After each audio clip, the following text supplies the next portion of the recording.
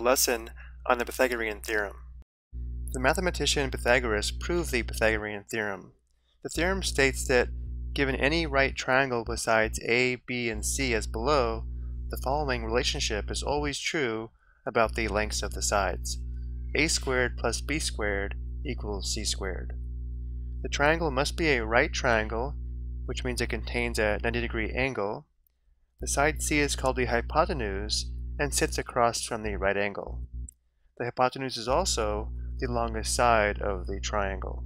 It's important that we identify the hypotenuse correctly because looking at the equation, notice how it's on one side of the equation by itself. The legs A and B form the right angle and are interchangeable in the theorem. Can notice how the sides A and B form the right angle. Let's look at some examples. We're asked to use the Pythagorean theorem to find the length of the missing side around to the tenths place value. So notice right away the side opposite the right angle is the hypotenuse and it's already labeled C correctly. So now we can label the two legs A and B. It does not matter which leg is A and which leg is B. So let's call this leg A and this leg B. And now we'll use the Pythagorean theorem to determine the length of the hypotenuse.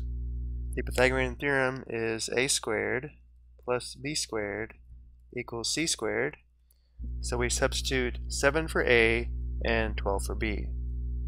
This gives us 7 squared plus 12 squared equals c squared. And now we simplify the left side. 7 squared equals 7 times 7, which equals 49. 12 squared equals 12 times 12, which equals 144. Now we find the sum. 49 plus 144 equals 193.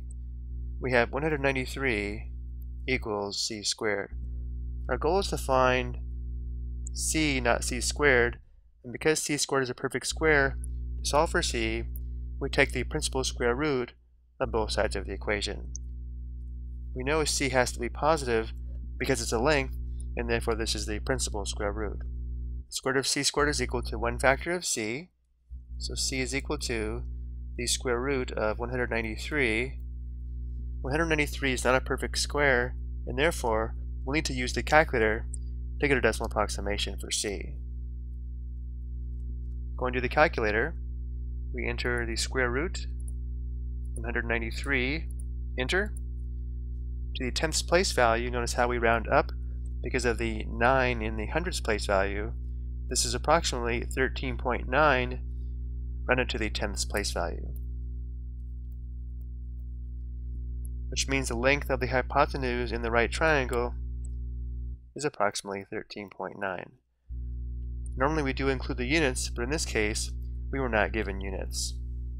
For B, we're asked to sketch the right triangle and find the length of the side not given.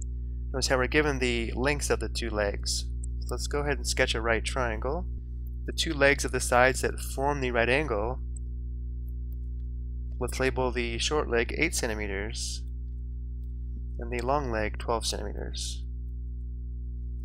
Notice the missing length is the hypotenuse, which must be labeled C.